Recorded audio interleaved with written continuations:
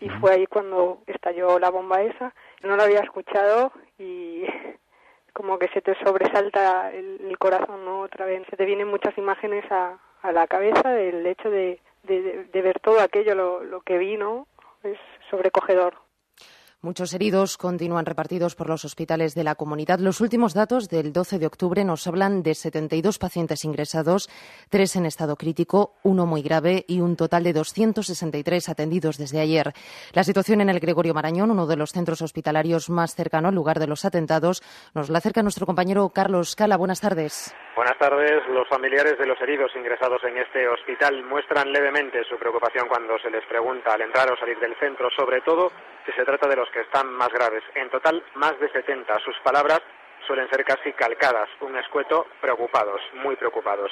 El silencio se ha hecho en la entrada del hospital cuando ha pasado mirando al suelo uno de los heridos más leves. Los restos del brutal atentado todavía están marcados en su cara.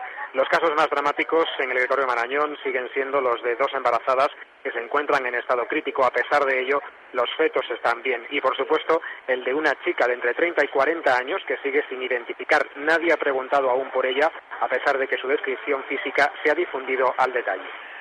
Esta es la situación en los hospitales, más dramática la de la morgue en el Parque Frial Juan Carlos I. Los últimos datos elevan de 11 a 19 el número de inmigrantes identificados. Desde IFEMA, muchos iban a ser trasladados al tanatorio de la M30 y al Instituto Anatómico Forense. Allí se encuentra Eva Santiago. Se ha detenido de momento la llegada de cuerpos o restos humanos después de los trasladados esta mañana. De hecho, nos dicen en el Anatómico Forense que siguen saliendo de aquí equipos médicos y auxiliares hacia el recinto de IFEMA, donde se siguen realizando las autopsias y donde se sigue centralizando todo el proceso. También un grupo de psicólogos que se había acercado para ayudar a los familiares de las víctimas que pudieran venir han sido desviados al recinto ferial porque allí nos comentan que da trabajo por hacer.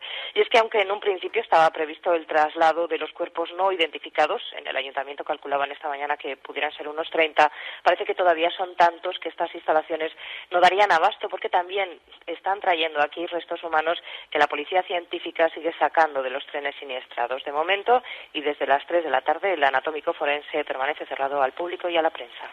En el plano político, llamamiento desde todos los partidos a la movilización ciudadana a partir de las 7 de la tarde en todas las capitales de provincia y demandas de información al Ejecutivo. Hoy el presidente del Gobierno, en una comparecencia en Moncloa, ha justificado al ministro del Interior que ayer a primera hora responsabilizada de la autoría de los atentados a la banda terrorista ETA. José María Aznar ponía un ejemplo, desmentido inmediatamente por un portavoz de los Mossos de Escuadra. ¿Qué querían hacer en el Valle de Arán esta Navidad desperdigando mochilas por todo el Valle de Arán? Esa organización terrorista está hecha para matar y para matar todo lo que puede. Y es lo que hace. Y a veces lo consigue. Lo único que podría aportar es que durante el dispositivo de vigilancia de estas Navidades en, en la Valle de Arán, por motivo de la visita de distintas personalidades, en ningún caso se detectó ni vaya ni se montó ningún dispositivo especializado para desactivar ningún ningún artefacto explosivo durante todo este periodo ni antes ni con posterioridad. En el Valle de Arán hace muchísimo tiempo que no se monta ningún dispositivo generado por la existencia de algún artefacto explosivo Falta de información que también preocupa a algunos expertos norteamericanos. La situación desde Washington con nuestro corresponsal Javier del Pino. Buenas tardes. Una hora y media después de los atentados del 11 de septiembre, sin que hubiera reivindicación de por medio, el FBI ya conocía los nombres de los presuntos autores y había contactado incluso con sus profesores en las academias de vuelo, entre ellos uno español. Por eso los expertos en análisis antiterrorista no parecen entender que casi 36 horas después de los atentados de Madrid todavía no se ofrezcan pistas fiables, más aún cuando hay teléfonos móviles de por medio que siempre dejan un rastro de identificación este hombre es Roger Cressy, ex consejero de la Casa Blanca en la lucha contra el terrorismo. La magnitud del ataque, el número de muertos y la destrucción que ha provocado y el hecho de que no haya habido un aviso previo no forman parte del modus operandi de ETA. La clave para las autoridades españolas es que colaboren con las de Estados Unidos y con el Interpol para llevar a cabo una investigación forense amplia que permita encontrar algo que conduzca hacia algún tipo de colaboración entre ETA y radicales islámicos o quizá hacia Al-Qaeda y sus afiliados. Los expertos recuerdan que solo en una ocasión ha habido un ataque terrorista en el que se hayan empleado más bombas que en el de ayer en Madrid. Fue un ataque similar en Bombay en 1993 con 260 muertos en el distrito financiero. Aquella investigación condujo pronto hacia un grupo islámico directamente vinculado a la dirección de Al-Qaeda, a Osama Bin Laden. Según los últimos datos de la investigación que les está ofreciendo la cadena SER, todos los artefactos explosivos fueron accionados por teléfono móvil. La policía ha podido recuperar una mochila cargada con 10,2 kilos de un explosivo plástico fabricado en España del tipo especial C con el sello ECO, que se corresponde con la antigua marca de explosivos Río Tinto. El detonador utilizado es también de origen español, del mismo tipo que los fabricados en la antigua fábrica de Río Tinto. Es detonador de cobre y estaba conectado a los explosivos mediante un cable que llegaba hasta la alarma despertador del teléfono móvil lo que el propio programador o la vibración del aparato acciona la carga explosiva. Las fuentes consultadas nos recuerdan que los detonadores utilizados habitualmente por ETA son de aluminio y los encontrados en la mochila son de cobre. El Ministerio de Interior solo le consta la existencia de esta mochila cargada de explosivos, aunque no confirman la composición del artefacto ni el origen de sus componentes. Las otras fuentes consultadas aseguran que ya todo parece indicar que no se trata de los componentes utilizados habitualmente por ETA. Sostienen que pueda ser otro grupo terrorista vinculado con el el extremismo islámico, nos dicen que Al Qaeda. Pues es todo. Más noticias a las seis, las cinco en Canarias, aquí en la SER. Cadena SER. Servicios informativos. El Corte Inglés e Hipercor presentan del 27 de febrero al 27 de marzo la gran quincena de la alimentación artesana y tradicional. Una excepcional muestra de los productos más típicos de nuestra geografía. Con los sabores de siempre, legumbres, conservas, dulces y los mejores vinos. Venga a conocer la gran quincena de la alimentación artesana y tradicional a El Corte Inglés e Hipercor. Hasta el 27 de marzo. Ay, Luisa, estoy desesperada. Mi marido se pasa la noche roncando y es que no sé qué hacer. Pues hija, te recomiendo que utilices el producto Buenas noches. Es todo un descubrimiento. Mi marido roncaba muchísimo, pero desde que utiliza Buenas noches no sabes qué cambio. Solo tres gotitas de buenas noches antes de acostarse y no se oye un ronquido. Recuérdalo, pide buenas noches en tu farmacia o centro dietético y deja de roncar. Mari, te he dejado la cisterna nueva, si es que estás casada con humanitas. En el 11824 encontrarás el teléfono de todos los profesionales. Sí, sí, un manitas. Incluidos fontaneros, electricistas y albañiles. 11824. Información telefónica 24 horas al día. De este año no pasa. Tengo que aprender inglés. Buena decisión. Yo también quiero aprender. Pero si tú has hecho un curso de Home English y ya lo hablas perfectamente. Por eso, ahora quiero aprender alemán. Aprender inglés o alemán en Home English es muy fácil. De una forma cómoda, rápida y con un profesor personal que te ayuda en todo momento. Llama al 902 23 23 23. Además, solo por informarte conseguirás un diccionario de seis idiomas en CD-ROM gratis. Llama a Home English 902 23 23 23. En España hay 9 millones de ciclistas. ¿Eres tú uno de ellos? Entonces sabrás que dar una vuelta en bici está muy bien, pero si lo haces por carretera debes tener cuidado. De día debes llevar ropa clara, así los que conducen te verán más claro. Y cuando haya poca luz, ponte prendas o elementos reflectantes, ya sabes, de esos que se ven en la oscuridad y reflejan la luz. Y si haces el camino de San Fernando, un ratito a pie y otro andando, además de llevar ropa clara y con elementos reflectantes, debes caminar por la izquierda. Tú decides. Dirección General de Tráfico. ¿Quieres reducir tu colesterol? Toma cada día Benecol de Kaiku. Los lácteos Benecol de Kaiku combinados con una dieta sana y ejercicio reducen tu colesterol hasta un 15% en solo dos semanas. Indicado exclusivamente para personas que quieren reducir su nivel de colesterol. Kaiku, ¿quieres sentirte bien? La ventana con Gemma Nierga. Cadena Ser.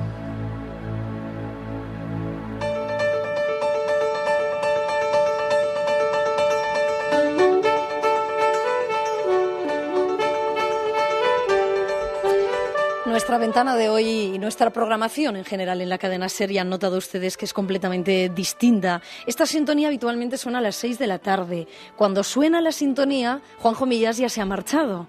Hoy Juanjo sigue aquí.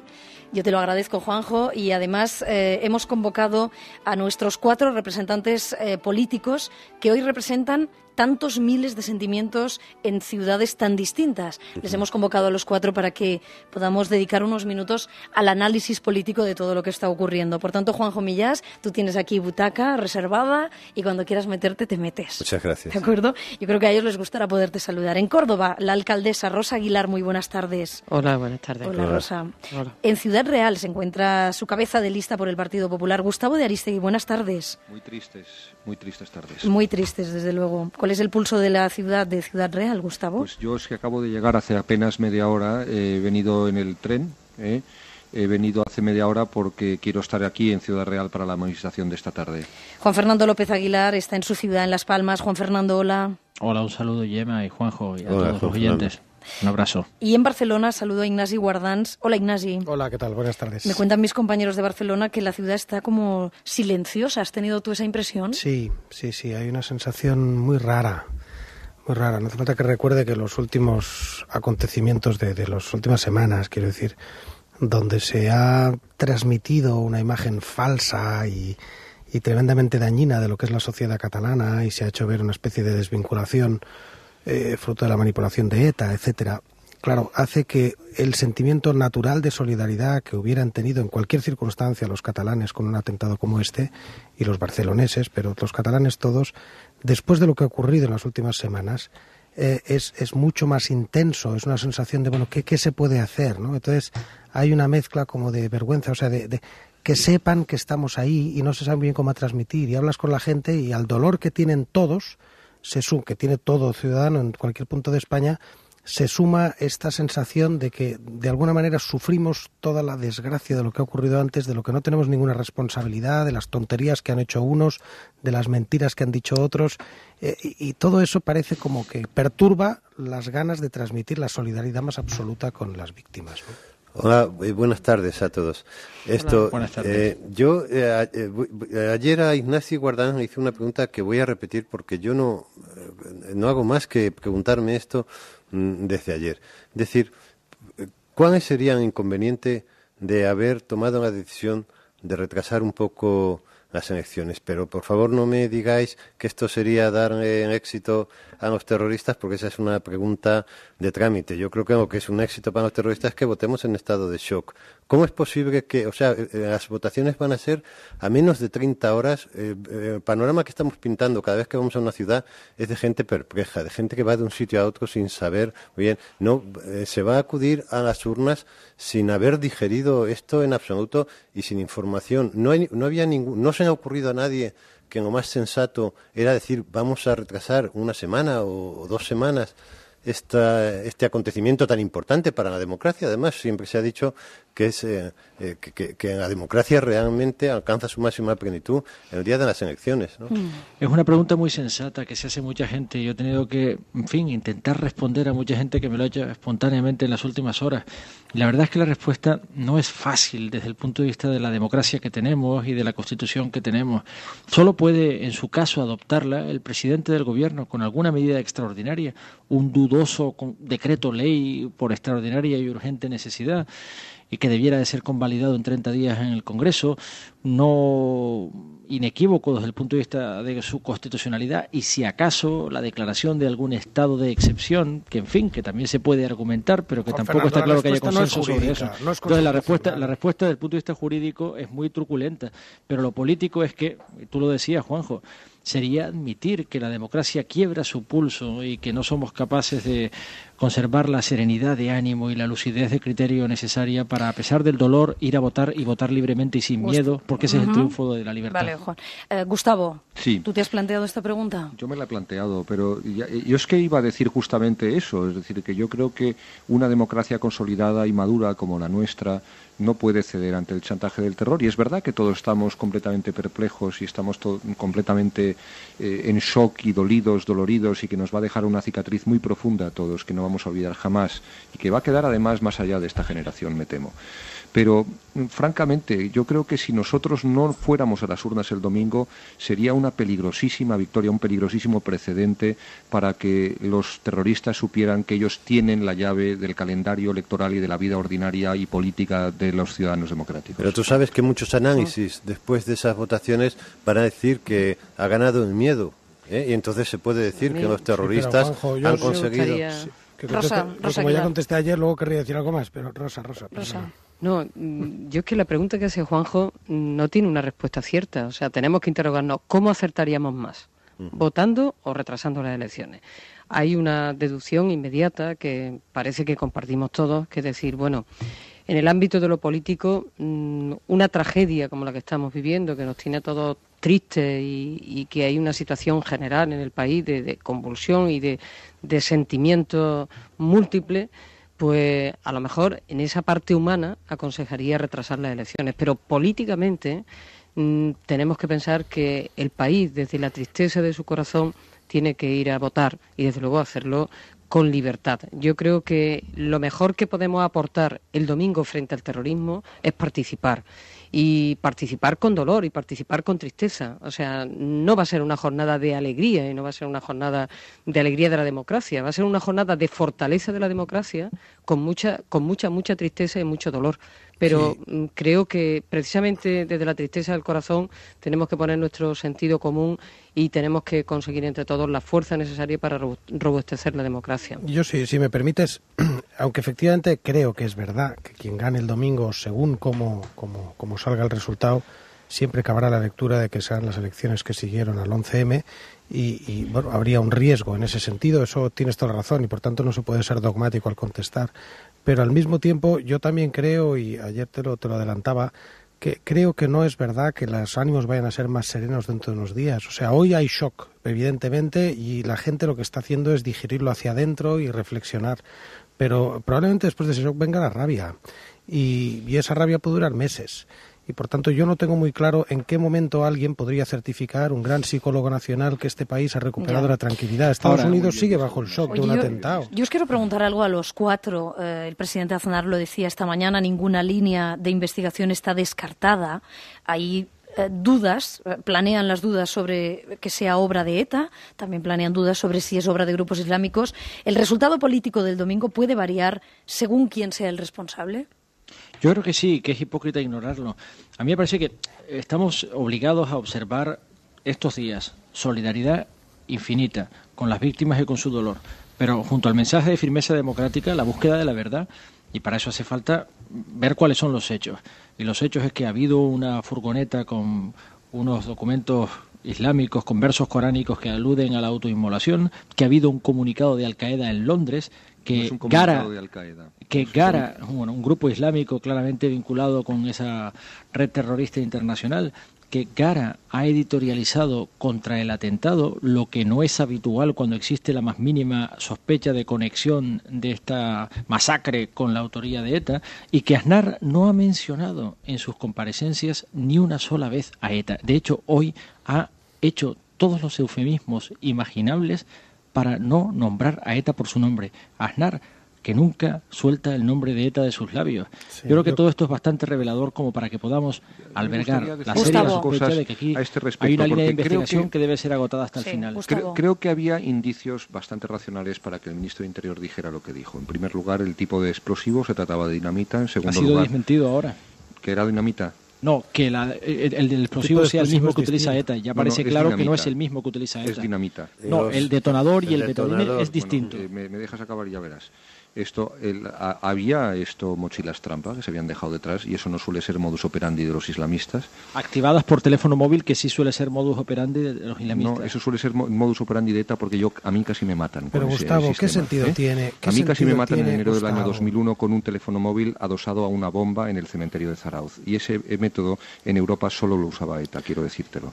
Pero Gustavo, lo que no tiene sentido Gustavo sí no yo Gustavo te iba a decir ¿por qué no das cabida a la duda Gustavo yo doy total cabida a la duda. Si lo que estoy diciendo que todas las cosas siguen abiertas y que, por supuesto, podría ser un grupo islámico, eh, perdón, islamista, no hay que decir islámico, un grupo islamista, pero a mí sí me gustaría deciros que quien no será seguro es Abu Hafez al-Masri. Será a lo mejor otro grupo islamista si finalmente termina la, investigación en este sentido. Abu Hafez al-Masri es un grupo que ha reivindicado todo lo que ha podido reivindicar, incluido el apagón de Nueva York. la verdad es que ¿Eh? no sé si igual si es uno o es otro. O sea, yo lo que no entiendo es efectivamente la certeza. Ese seguro que, no es. Puede que sea otro, pero ese no es porque además esto reivindicó los atentados miserable a quien de la autoridad. A ver, un momento, todos no, es que si habláis todos a la vez no, no se os entiende.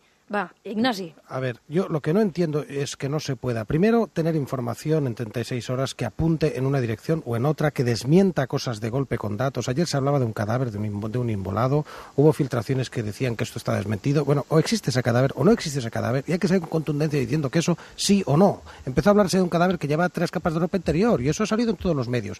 ¿Eso es una tontería o no lo es? Que salga alguien y lo diga. ¿Por qué se ha tardado tanto en explicarlo de la furgoneta? ¿Por qué hoy se ha empeñado? ¿Por qué se ha empeñado?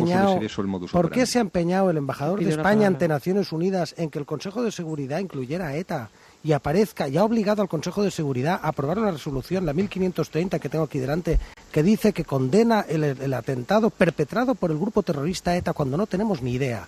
¿Por qué todo eso? ¿Por qué esas ganas de lanzar todo en una misma dirección? Que el gobierno tiene que transmitir sus propias incertidumbres y ser transparente. Porque es lo el que hizo solo el hecho. presidente del gobierno esta mañana y lo que hizo Bueno, el ministro de no, Interior no está siendo transparente. A mí me crea una desconfianza el ministro del Interior total y lo digo bien claro. Sé que no es políticamente correcto. No me fío del ministro del Interior, me fío de las Fuerzas Armadas. No me estoy fiando del ministro del Interior. Creo que hay riesgo de que mienta.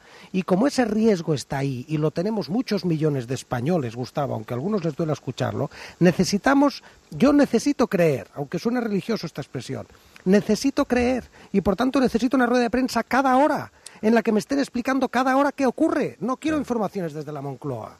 Además, creo que si me permitís, yo me gustaría, mañana- me gustaría intervenir. Sí, Rosa. Eh, no, es que Juan. Gemma nos formulaba un- una pregunta y yo creo que la propia situación que se está dando en la tertulia pone en evidencia que efectivamente puede depender el resultado de las elecciones de quién sea la autoría de este atentado. Y parece que Gustavo ahí se fajaba para intentar volver a, reivindicar pues algo que ayer decía el ministro de Interior a primera hora y que después tenía que, que admitir que había otras líneas de investigación abiertas. A mí me parece que en estos momentos son básicas varias cosas. Por una parte, la solidaridad infinita con la familia de las víctimas y con los heridos. Por otra parte, la unidad de todas las fuerzas políticas frente al terrorismo. Pero por otra parte es imprescindible la verdad, la verdad y la transparencia. Y que cada hora, como decía Ignasi, sepamos qué es lo que está pasando, porque de pronto aparecen noticias y dice, los TEDA están tardando demasiado en dar información sobre la mochila que ayer pues se detectó después de que el móvil sonara en ese momento y de todo lo que había dentro. Bueno, ¿qué es lo que está ocurriendo? ¿Qué es lo que está pasando? Parece que es que cada vez aparecen más pruebas que apuntan más hacia Al Qaeda que hacia ETA. Y esto se tiene que decir porque yo creo que el pueblo tiene derecho a conocer, a saber, sencillamente porque encima han matado a la gente del pueblo, a la el gente miedo a que se esté Sí, reteniendo yo- información es insoportable. Sí, Yo no la puedo gente votar tiene el derecho a domingo saber. creyendo que me están ocultando información. Eso sí que sería una bomba a la democracia. Como el lunes tengamos una sola prueba que hubiera podido transmitirse el sábado, las elecciones del domingo serán nulas. Sí, si me permites, Ignacio. a mí Sí, como, ah, jurídicamente, perdona, pueden ser unas unas elecciones. Políticamente sí, jurídicamente no, pero serán, Ya. desgraciadamente Pero no, pero serán inválidas quedará todo Sí, inválidas, pero cuatro años de invalidez. si me permite, Ignacio, Sí. a mí me parece que es, es muy revelador que Aznar, que durante tantos años ha estado machacando tan insistentemente sobre ETA, ETA, y que, digámoslo claro, en tantas ocasiones ha tenido pocos escrúpulos en aducir ETA como elemento de la contienda electoral, esta mañana y ayer se haya resistido de manera bastante expresa a mencionarla. Y me parece que de otra forma no se explicaría que se derrumbasen las bolsas de Nueva York o de Tokio. No se derrumban con un atentado de ETA, se derrumban con atentados islamistas.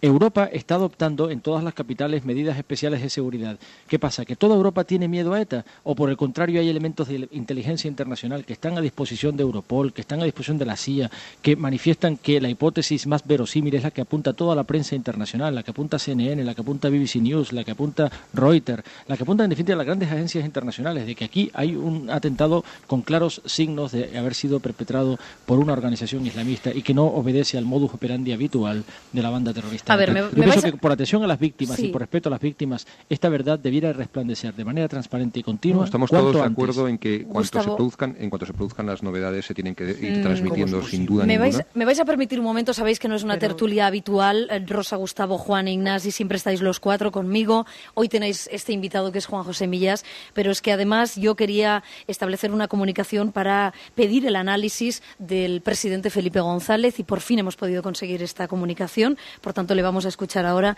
Señor González, muy buenas tardes. Hola, buenas tardes. Bienvenido a la ventana. Quería saber si va a acudir a la manifestación, si va a estar allí en la cabecera de la manifestación. Lo, lo voy a intentar, aunque he tenido un pequeño incidente, una intoxicación, y voy a ver si me, me recupero. Es por ¿Una de- intoxicación informativa? O...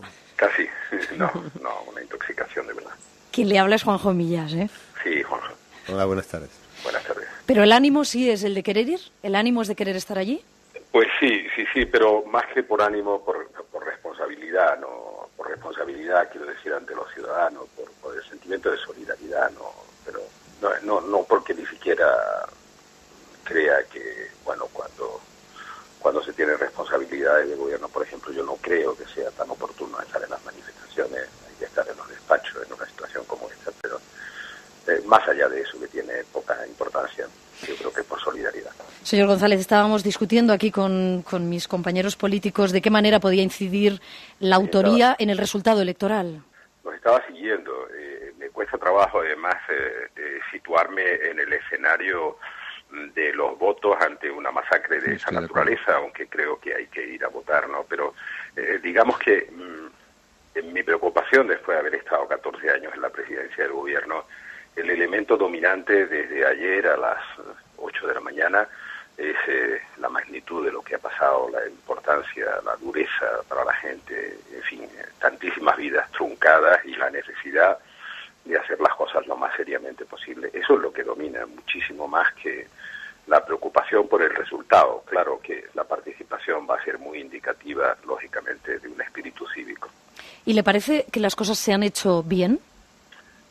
Bueno, en principio uno tiene tendencia a creer, y yo desde luego la tengo porque he estado mucho tiempo en el gobierno, que el gobierno, mm, digamos que es eh, después de la familia y de los amigos de las víctimas, el gobierno eh, suele ser el que más sufre en una situación de esta naturaleza. Por tanto, uno tiene necesidad de creer, tendencia a creer que el gobierno obviamente está transmitiendo lo que piensa que está ocurriendo.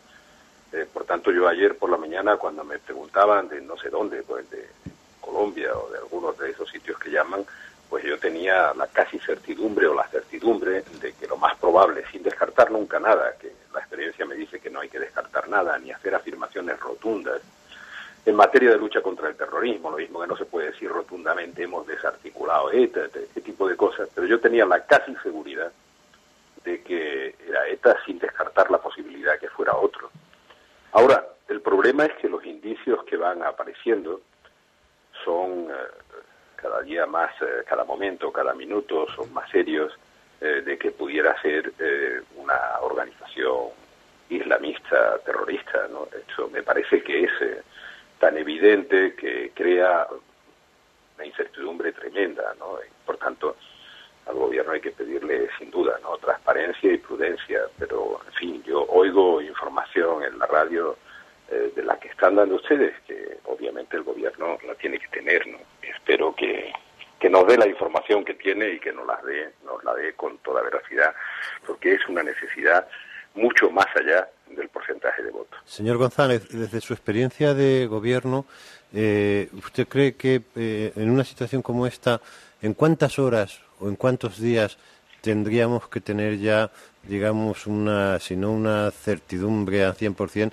pero sí una indicación de que el atentado puede provenir de un sitio o de otro? Vamos a ver, la hipótesis de trabajo, eh, sin descartar eh, que puede haber eh, algún cambio en la investigación, la hipótesis de trabajo en la gente que es muy experta en esto es, es casi seguro de que ya está establecida. ¿Ah, sí? Es decir, sí, casi seguro, no, dar la seguridad, yo no estoy dentro del aparato del Estado, pero la hipótesis de trabajo, o sea, podría haber habido al principio eh, la convicción de que era 80% de posibilidades ETA, por tanto se vuelca la, la, la investigación hacia ahí. Y como en realidad mm, haya sido quien haya sido, eh, todos sabemos que ETA es una organización de criminales que es capaz de hacer cualquier cosa, eh, que no haya hecho esto nunca, o que no sean los detonadores que usa, o que no sea, digamos, que no sea el modo operativo de ETA, no, no, no, no significa que ahora hay que decir, eh, no ha sido ETA, no se los puede culpar, ETA podía también haber sido, son unos criminales. Pero en fin, eh, 20 horas después, 25 horas después, en cualquiera de los servicios de inteligencia operativos del mundo y de los servicios policiales, seguramente ya tienen eh, hipótesis. hipótesis de trabajo eh, sólidas. Y todo eso mm, diciendo que incluso teniendo hipótesis sólidas de trabajo, eh, se, puede, se pueden equivocar ¿no? los servicios y la investigación. Recuerde que hace 10 meses se detuvieron por informaciones además de servicios internacionales a una serie de personas en Barcelona, me parece que fue, o en Tarragona, y parecía que tenían armas químicas y que era uno de los fundamentos que se distinguió para, para hablar de, de, de en fin, de lo que se hablaba entonces, no quiero ni recordarlo, y a los pocos días pues estaban en libertad porque eran productos de limpieza, en fin. esta, esta cosa, además debo decir que puede ocurrir, o sea, y la prudencia y la, el rigor tiene que ser del gobierno. Señor González, la totalidad de las fuerzas políticas están llamando a la unidad frente a la violencia. En estas horas, en estas 30 eh, horas o 36 horas que han pasado desde el atentado, ¿ha visto a las fuerzas políticas de este país unidas? Sí, pero eh, sí, evidentemente.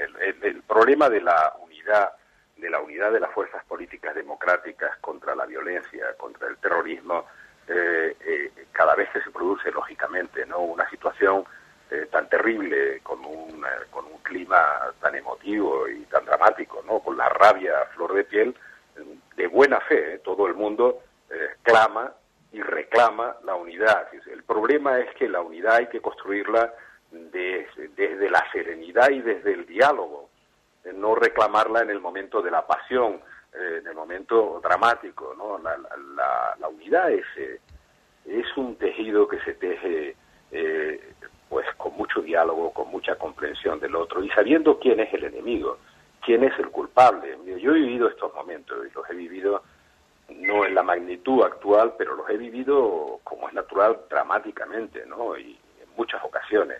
Entonces, primero, no hay que confundir a los culpables. Los culpables son los asesinos.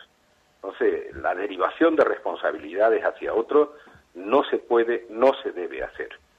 Eh, pero en absoluto se debe hacer. Y en ese sentido digo, no, no, no, no se puede aprovechar una situación de esta jamás para hacer eh, leña de un gobierno. Yo digo, yo lo he vivido, yo he estado en una manifestación como la que voy a vivir, eh, recién asesinado Paco Tomás y Valiente, y he oído cosas muy, muy, muy duras contra el gobierno de líderes políticos en aquel momento. Yo estaba en la presidencia y en un momento como este. Eso no se debe hacer no tiene ninguna justificación, por tanto hay que mantener una gran serenidad, hay que mantener una gran serenidad. Y desde luego no hay que manipular a la opinión en ningún sentido. No puede haber detenciones fantasmas para cubrir 48 horas, porque lo que dice Guardanz es lo más terrible. O sea, lo terrible sería que dentro de cuatro días, en una o en otra dirección, supiéramos lo que de todas maneras tarde o temprano se va a saber, ¿no? Y que no fuera lo que nos han inducido a creer que es. Eso sería lo terrible y espero que eso no ocurra de ninguna manera. Muy bien, pues Felipe González, le agradezco que nos haya atendido. He abusado de la confianza que me da el haberle tenido en este programa pues hace 48 horas. Circunstancia bien distinta, pero hablando también de esos temas, de lo que es la unidad, el diálogo, esa cosa que, que, cayó, que parece que cayó en desuso, que es el consenso, eh, y, la verdad es que uno, gobernando, sufre mucho con estas cosas.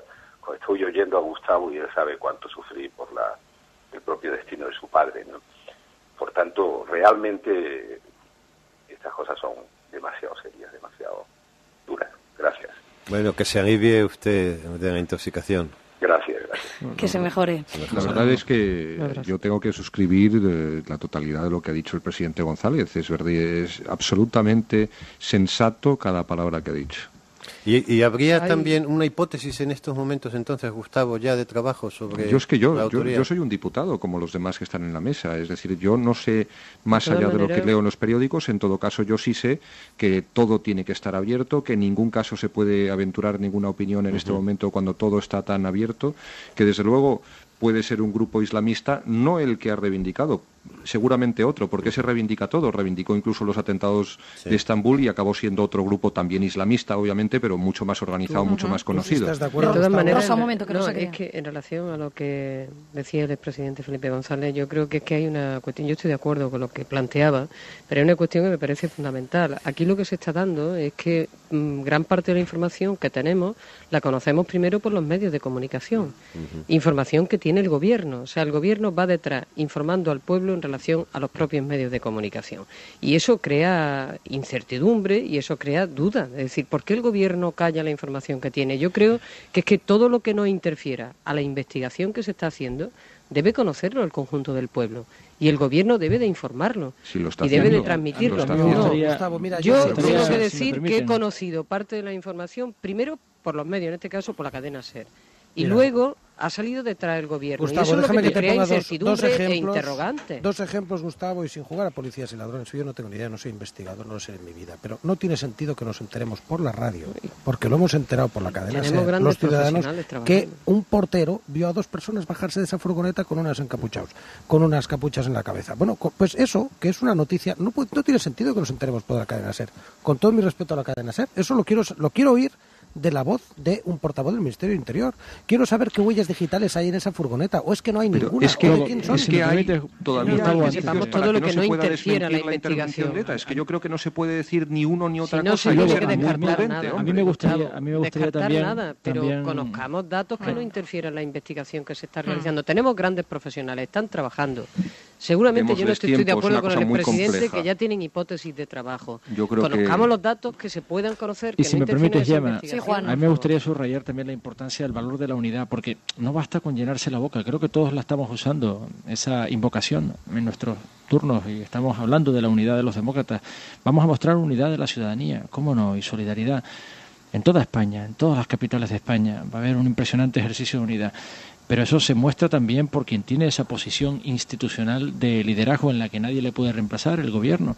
Y esta mañana eh, yo he escuchado a José Luis Rodríguez Zapatero decir que, en fin, procede una reunión de todas las fuerzas democráticas que quieran arrimar el hombro, aportar criterio y compartir también esa unidad dialogando. Eso es muy importante cuando una sociedad vive una experiencia nacional tan dramática y tan convulsionante como esta. Por eso Y tenía que ser más prudente José Blanco en el las declaraciones que ha hecho esta mañana. No, pero Eh. tiene razón Juan Fernando que el, el o sea, un gesto unitario, por ejemplo, de hoy mismo haber abierto el pacto antiterrorista lanzar Haber- el haber mensaje- convocado a las fuerzas y el haberlo ampliado, El pacto haber todos hablar sobre este ser un monopolio del PP y, Y el esto está teniendo lugar en comunidades autónomas. Que, que está abierto a todos. Y una Hay comunidades distinta. autónomas que están convocando a todas las fuerzas políticas ¿Qué por parte de su gobierno y el gobierno de la nación no lo ha hecho. De hecho, casi ha convocado por decreto a una manifestación imponiendo Con el un lema. lema que ha impuesto que aquí en Cataluña pues Ahí- hemos retocado. Poniendo el lema. Vamos a parar, Hay vamos a parar. cosa- Mm, Rosa, Me acaba espero, la frase. Hay una No, no, cosa que. espero para después. Vale, va. Hacemos una. Mira qué lista. Si ya sabe que al volver le daré paso a ella. Pausa en la ventana, dos minutos. Ahora mismo volvemos a ver si me da tiempo de pasar alguna llamada, que sé que nos están llegando muchas a la redacción que quieren hablar de este tema y quieren hablar con los políticos, al 905 11 60 60. Ahora volvemos. La Ventana. Cadena Ser. Con Gemma Nierga.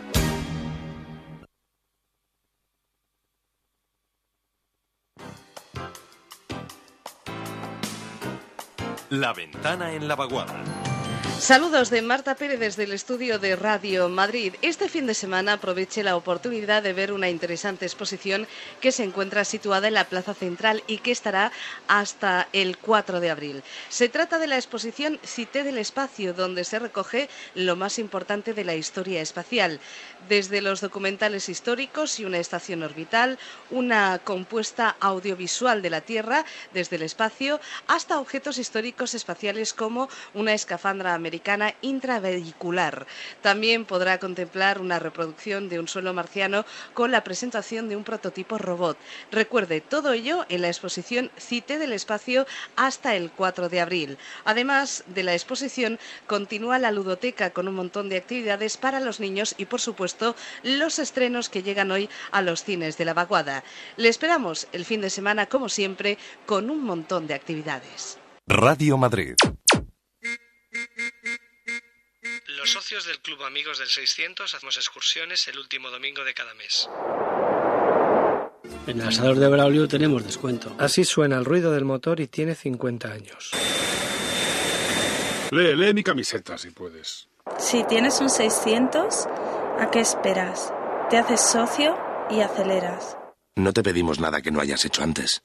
Hazte socio de UNICEF y colaborarás en el futuro de miles de niñas y niños de todo el mundo. En UNICEF también necesitamos socios. Infórmate en unicef.es. La SER al día. Libros.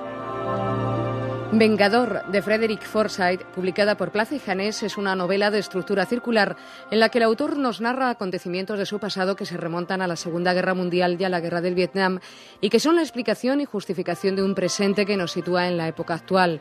Las brutalidades del pasado serán vengadas en el presente y ese vengador justiciero es Calvin Dexter, un abogado de 51 años que había formado parte de un cuerpo especial que luchó contra los Vietcongs y que después de la guerra tuvo una hija que murió asesinada a los 16 años.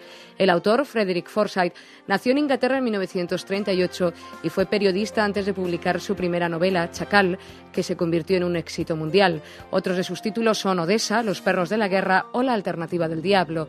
Recuerden, Vengador, de Frederick Forsyth, editorial Plaza y Janés.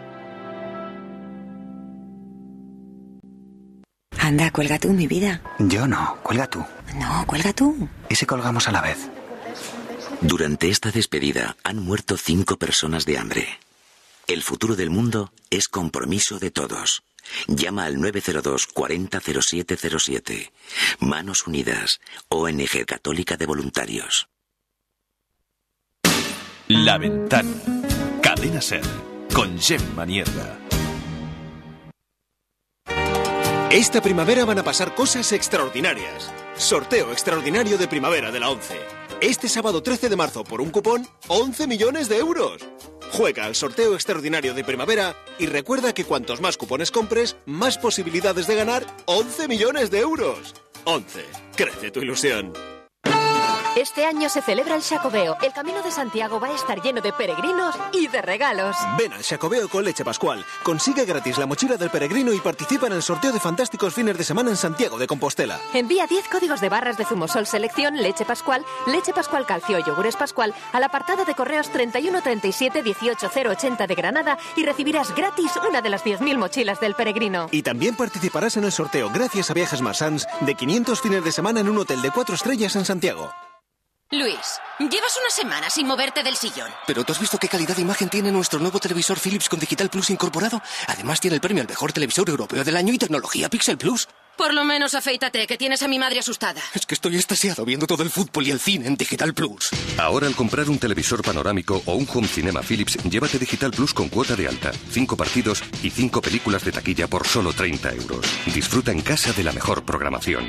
Philips y Digital Plus, lo mejor en televisión. Todo lo que necesitas saber de informática para pasar una prueba de selección.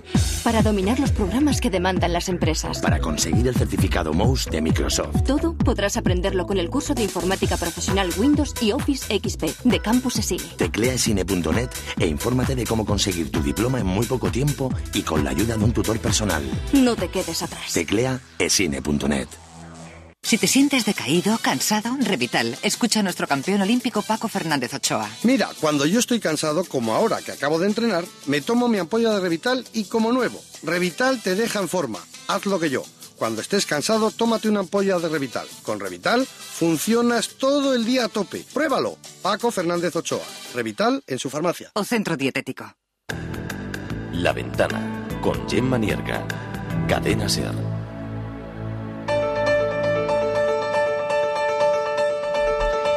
Seguimos en la ventana, seguimos con nuestros políticos y sé, Rosa Aguilar, que te tengo que dar paso, pero déjame que dé paso a una llamada, ¿vale? Sí, sí. Porque si no ya nos enredamos y, y me olvido de los oyentes y no quiero porque están llamando mucho. Marina de Coruña, buenas tardes. Hola, buenas tardes. ¿Qué nos dices, Marina?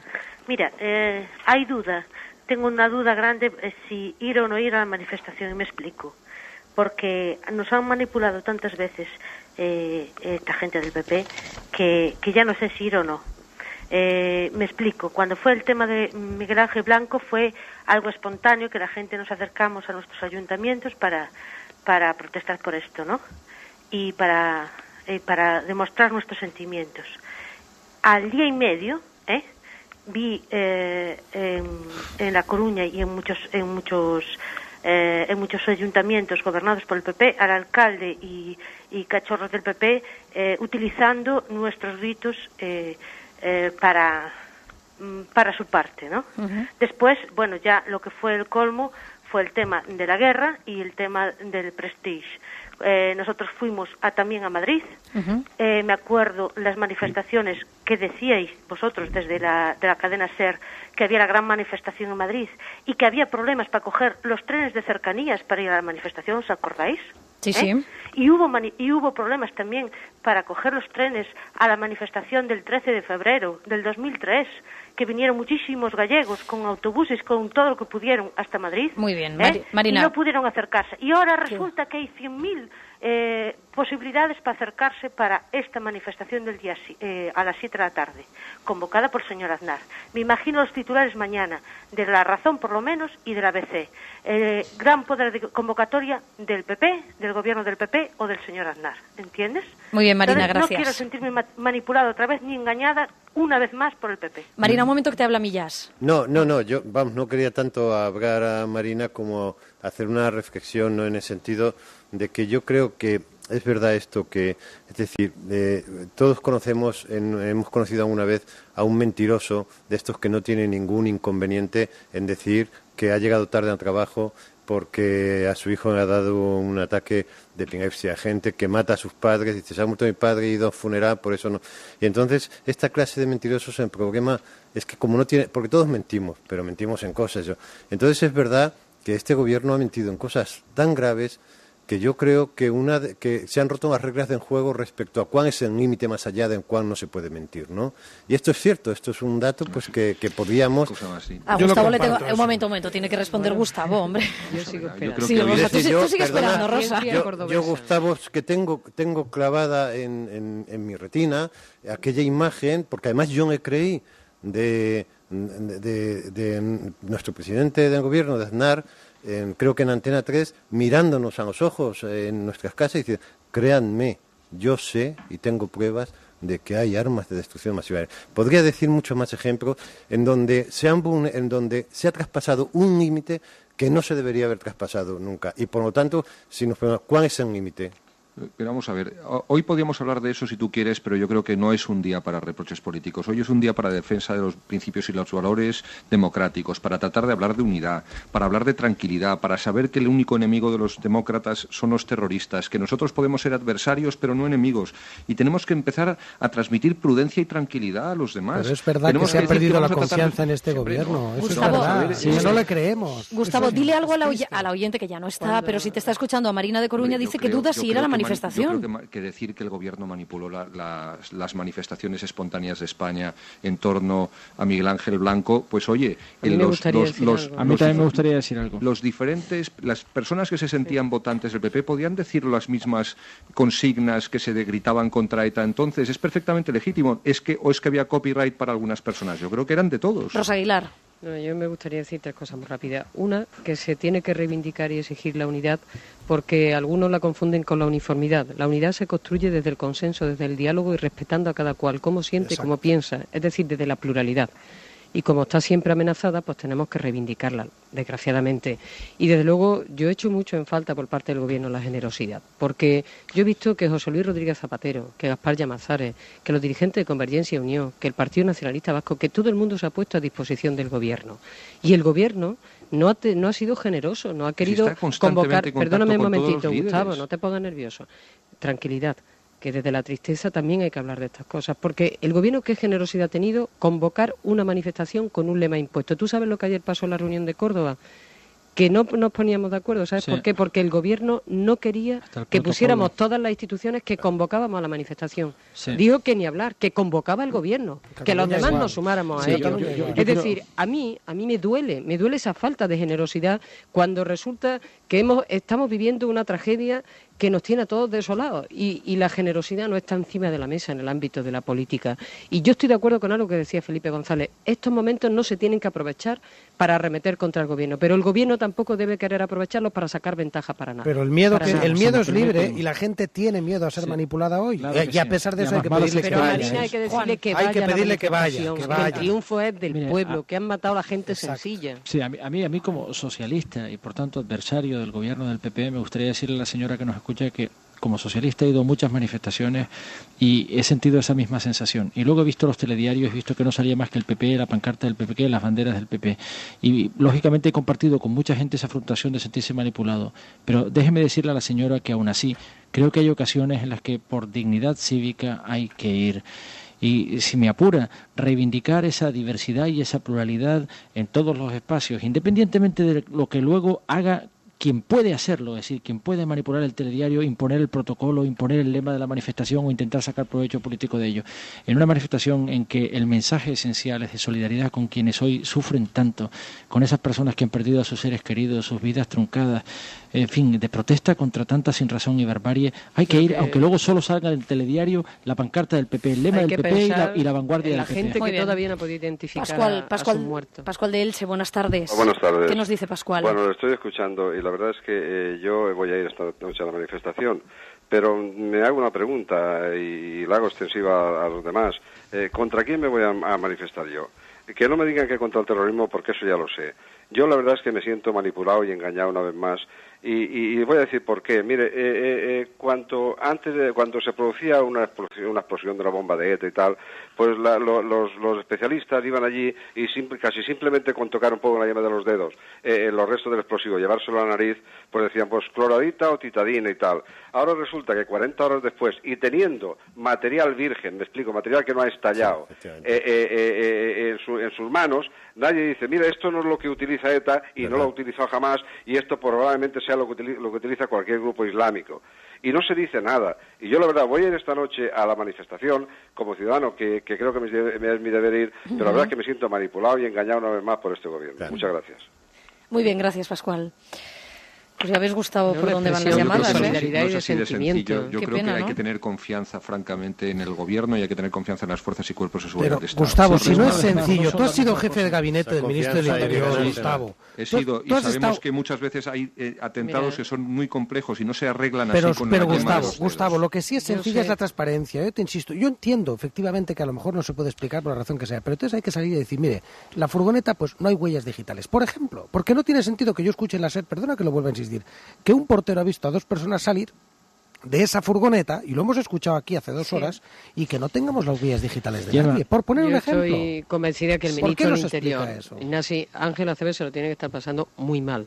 Pero lo único que le pedimos, desde también la solidaridad que manifestamos en los momentos que él está viviendo, es que informe veraz y de manera transparente. Claro, Gustavo, a- a mí me Gustavo, gustaría- sería a mí me bueno, gustaría- sería bueno que no planeara ninguna duda sobre la información, ¿no, Gustavo? Que no se Estoy nos de acuerdo, surte pero es- información debido a la proximidad Pero estoy electoral. convencido que cada vez que se produzcan novedades dignas de mención, el ministro Pero, del Interior Gustavo, va a que no lo sepamos que antes los sepáis, medios, Rosa, Rosa, favor. que sepáis que el ministro del Interior va a comparecer dentro de ocho minutos. Bien, a mí- ¿vale? a mí sí Hay comparecencia de Ángela Cebes a las seis en punto, la vamos a Pero- ofrecer, evidentemente. Pero que no nos sigamos gustaría- enterando por los medios de comunicación de Yo- las cosas. Juan, Yo Juan. querría subrayar un elemento que estaba presente en la intervención de Felipe González y es el de que la persona que ha tenido experiencia de gobierno puede recordar cómo hubo una época en que en cada atentado de ETA sufría el gobierno y el gobierno pagaba su sufrimiento, iba a los entierros y veía el ambiente tenso y hostil, pero no se ponía al frente de la manifestación. Ahora da la impresión de que ocho años después, cuando el PSOE lleva ocho años en la posición, el PP en el gobierno, el gobierno se pone al frente de la manifestación. El gobierno convoca por decreto, impone el lema, el protocolo, dice quién va en la pancarta y además pretende muchas veces salir solo él en el telediario. Esto, esto, esto es creo lo que marca El gobierno la es- sensación de frustración que expresan muchos de los oyentes que se sienten manipulados y eso El hay que gobierno- entenderlo. Esto yo me, eso hay que yo- entenderlo. yo me pregunté en algún momento también esto. Lo que pasa es que como hemos vivido también unos momentos de tanta tensión en lo que no sabías que, por ejemplo, a mí me sorprendió mucho la rueda de prensa que dio Aceves ayer al mediodía, prácticamente prohibía dudar de la versión que daba él. Pero Y es que, Juanjo- Juanjo, perdona, perdona de- un momento que acabo. Y a las 8 de y a las 8 de la tarde él mismo dudaba de la versión eh, que había. Pues yo me he preguntado en estas cosas, en estas fluctuaciones que tenemos que a veces, bueno, son fluctuaciones realmente de péndulo. ¿Por qué no han convocado esta por qué- perdón, perdón, perdón. ¿Por qué esta manifestación no han convocado todos los grupos parlamentarios? Porque convocó el gobierno. porque el gobierno no Gustavo. A ver que Gustavo Yo creo responda que el gobierno gobierno no ha tiene la responsabilidad de gobernar y es quien tiene en este momento la responsabilidad también de convocar. Y Pero hace ocho que es que años, Gustavo, cuando el siempre- PP le echaba la culpa al PSOE Pero de no, cada no atentado. sido más bonito que Gustavo, todos los grupos Es que el PP no le echaba la parlamentarios. Si me culpa al PSOE de cada atentado. Eso no es así. ¿eh? Oye, pero Si me hay una noticia que no está, no está destacando los medios, ha salido muy poco. Esta mañana, a las 12 de la mañana, hora de Nueva York, 6 de la mañana de aquí, eh, estaba saliendo este tema de, en, en el Consejo de Seguridad de Naciones Unidas se estaba debatiendo una resolución de condena. Y esa resolución de condena, expresamente el embajador francés ha dicho que se hiciera genérica y que se hiciera condena al terrorismo y solidaridad con las víctimas. Y el embajador de España en la ONU ha exigido que se hiciera responsable a ETA que ya no querido, ya está pues aquí. No, son y las instrucciones del gobierno, Ignacio. Claro, no, por eso digo, no por eso digo que, pero que eso sí es una manipulación, Rosa, No, entiendo, he entendido muy pero bien Pero que hoy eso, se daba, en relación a lo que, decía Juan. Hombre, que había otra Ignacio, información. lo que quieres que lo vuelvas a repetir porque lo he entendido perfectamente. No, no, no, te juro, yo más que no entendí muy bien. claro que el ah, gobierno... Pues, a decir, Quiero decir que el gobierno necesitaba que la ONU condenara a ETA, sea ETA o no quien esté detrás de ¿Pero eso a qué hora ha sido? Esto ha sido a una hora cuando ya estaba perfectamente abierta. estaba abierta la otra Estaba perfectamente abierta la otra línea. descartando demasiado alegremente probablemente es, No, yo no descarto. ¿eh? Yo solo digo que, era muy cómodo tener ¿eh? al Consejo de Seguridad condenando a ETA cuando ya estaba abierta la otra línea. Ya había hablado a Cebes en rueda de prensa. No, Luego, este no, es el momento de hacer reproches políticos, hombre. Hoy en día, cinco minutos antes de, las, manifestaciones. Lo que hay, lo una realidad es importante que todo el mundo vaya a la manifestación, pero hay una realidad, la manifestación de hoy la podíamos haber convocado todos. todos. Y así debía haber sido. No y, querido, el gobierno debió convocar para que convocaran todas las fuerzas democráticas. Gustavo, no, no por Gustavo, Dime. Eh, ¿no te hubiera gustado más que la hubieran convocado todos los partidos políticos esta manifestación? A ti, ¿eh? Todo el mundo. Pero es el gobierno de España, no es, el gobierno del PP. Perdona, Gustavo. Esa consideración también era válida hace ocho años y yo constato la diferencia de enjuiciamiento de cuando había un atentado hace ocho o diez años, de cómo hay ahora en función de cómo le conviene al PP. Hace ocho o diez años, cada vez que había un atentado al gobierno sufría. Y lo, pasaba, mal en la calle y en los entierros. Y ahora es el gobierno el que pretende... Vamos a ver, Gustavo, te voy a hacer una pregunta muy directa. Te voy a hacer una pregunta muy directa. Gustavo, ¿no te, no, te, ¿no te llama la atención, no te parece sospechoso de que ahora el gobierno, cuando se produce un atentado brutal, lejos de asumir dolientemente la responsabilidad, porque es quien la tiene de garantizar la seguridad de la gente, se pone al frente de la manifestación? no te llamaba la atención. Pasaba eso hace 10 años.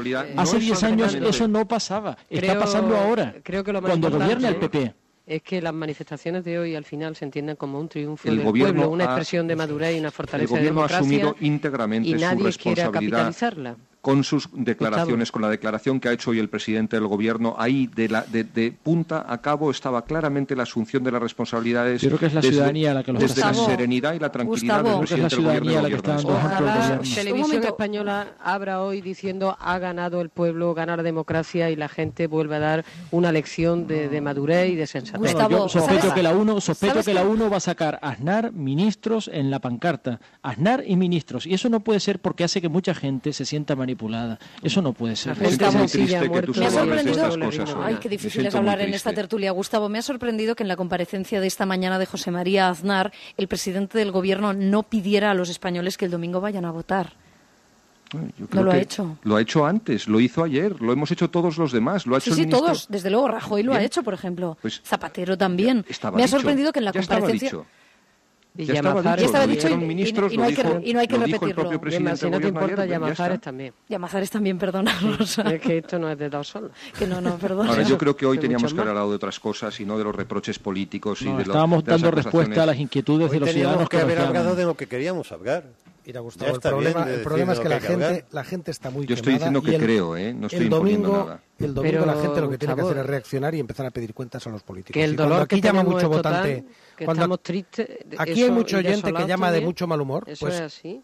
Hay mucha gente que llama de mal humor y que nos echa ese tipo de broncas colectivas a los políticos. Yo creo que una de las cosas positivas que tiene que tener todo lo que ha ocurrido aquí es devolverle la responsabilidad a la sociedad. Y de verdad que suena una frase bonita, pero no pretende serlo. O sea, que todo el mundo no sienta que esto es una cosa que van a resolver los políticos o no, sino que sienta que primero con su voto el domingo y después pidiendo cuentas cada día a aquellos ha quedado su voto, si por ejemplo a quien tenía la mayoría hasta ahora o no, que le pida cuentas y que no trague, no comulgue con ruedas de molino como se viene haciendo aquí desde hace cuatro años a favor incluso de algunas barbaridades que ha hecho el PSOE, y no digo ya las del PP, que algunos ya, ya, las he criticado, el propio PSOE tragando una política antiterrorista, por ejemplo, bastante difícil de asumir.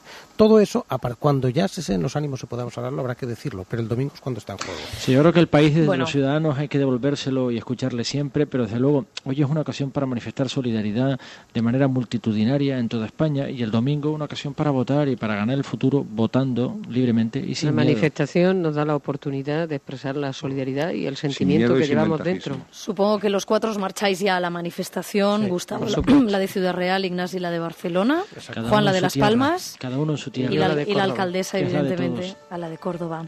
Eh, a los cuatro, un beso, muchísimas gracias por estar aquí en esta cita, que tengáis suerte los cuatro el domingo. Será imposible, pero lo intentaremos. Bueno, pero que tengáis suerte, que os, vo- que os La vote, lo tienen los ciudadanos. Que os vo- Los de la ciudadanos deciden. que os vote muchísima gente, a los Un cuatro. ¿eh? Gracias, buenas tardes. Buenas tardes a todos, suerte. Hasta luego, Juanjo. Bueno, pues vamos a escuchar las noticias que nos llegan. Son las a punto de ser las 6 de la tarde, las 5 en Canarias. Ya les hemos dicho que está prevista comparecencia del ministro de Interior de Ángela Cebes. La escucharemos, por tanto, en directo aquí desde la cadena SER. Después nos queda una hora más de ventana que nos llevará hasta las 7, justo hasta la hora de la manifestación. Nosotros desde aquí se lo iremos contando todo. Hasta ahora mismo.